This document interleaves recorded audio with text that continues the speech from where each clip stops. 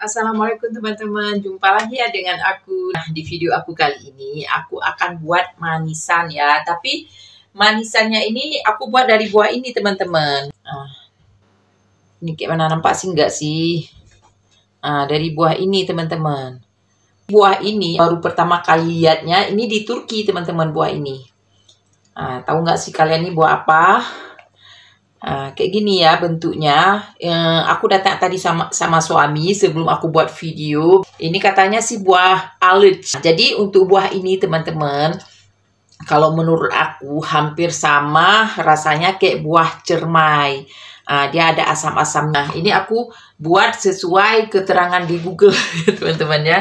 Nah ini buahnya ini udah aku rendam dengan air garam semalaman. Ini udah di aku rendam semalaman dengan air garam. Air garamnya aku cuci ya. Panasin gula. Aku nggak kera-kera ya gulanya berapa ya disesuaikan aja. Kita taruh air.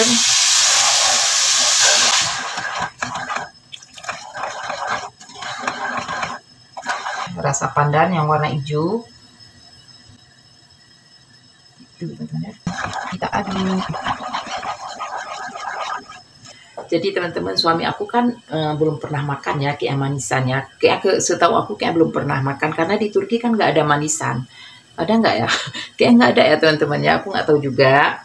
Ini cuma feeling aku kayak suami aku belum pernah makan. Nanti aku mau kasih uh, suami aku ya makan. Karena orang ini cuma makan buah ini ya uh, kayak gini makan gitu aja gitu ya. Ini kan aku akan buat manisan. Nanti aku akan kasih nampak sama suami aku ya suruh makan apa dia mau apa enggak ya.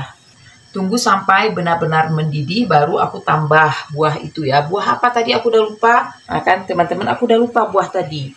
Pokoknya di awal video aku udah sebut namanya. Karena aku cepat lupa ya kalau bahasa Turki ini sampai sekarang aku nggak bisa. Itulah teman-teman ya karena aku cepat lupa. Mungkin bisa jadi karena faktor U juga.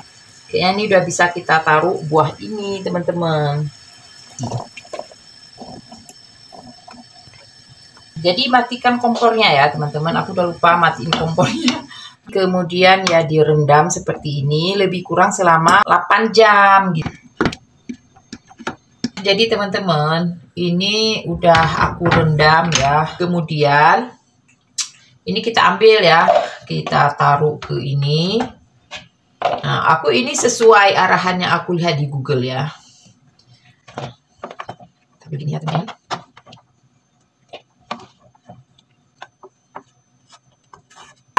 air gulanya ini kita panasin lagi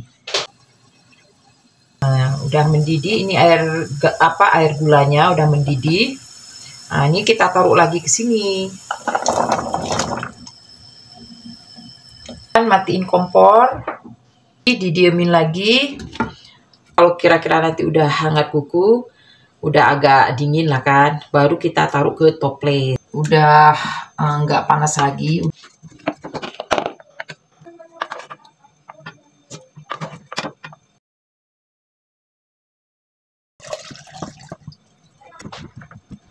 Teman-teman manisannya. Ini sebenarnya udah bisa dimakan juga cuman ya lebih mantap lagi. Kita tunggu sekitar dua hari atau tiga hari gitu biar apa itu meresap ya biar gula-gulanya ini meresap.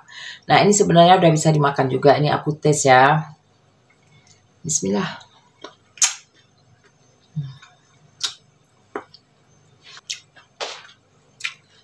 Jadi rasanya masih ada asam tapi nggak seberapa asam nggak seberapa asam yang seperti yang pertama uh, yang sebelum kita olah kayak gini.